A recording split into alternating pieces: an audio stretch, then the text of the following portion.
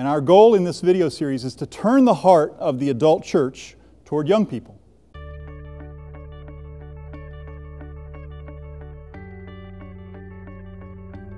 First of a series where we identify the current pictures that we think with right now, that our culture taught us to think with, and then replace those pictures with pictures that match more closely the mind of Christ.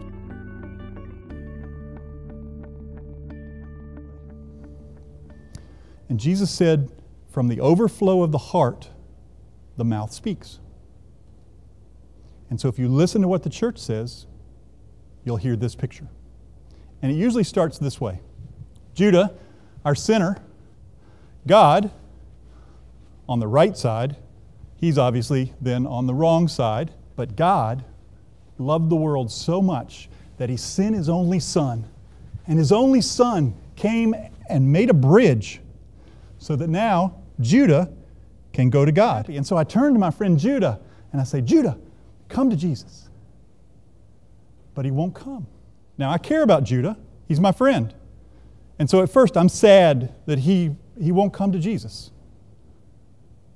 But over time, I begin to get a little bit grumpy about Judah. And so I turn to him and say, Judah, you need Jesus bad. You need to come to Jesus now because you're ruining your life and your family and you're ruining the country. And we're going to take back America from you. And it doesn't take much for our voice to begin to get pretty shrill. And what's happening in my heart, folks, is I'm beginning to promote myself upward. And so, what I want to offer you then is a different picture.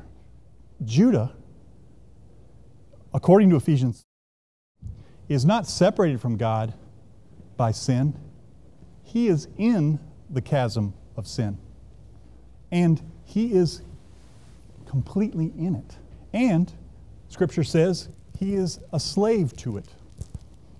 And so he is chained to that sin. And he is dead in his sin, Paul says. And so that is our sinner's state. And that God did not sit passively hoping we would come to him. God came to us. And he calls us out of our death into life. He takes the chains off of us. He defeated sin in his death on the cross, and he goes farther than that because he gave to us his righteousness. He took our sin on himself. He took our chains on himself. And he took our death on himself so that Judah could live.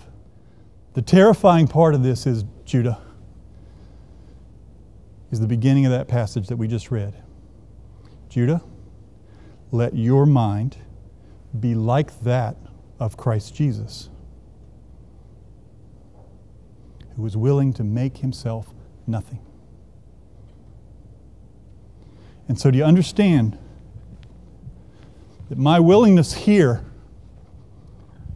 to promote myself upward above the unbeliever is exactly the opposite of the heart of Christ to be willing to come and make himself nothing for us. Your adult congregation can no longer say, Oh, we hope those young people will come to us after graduation.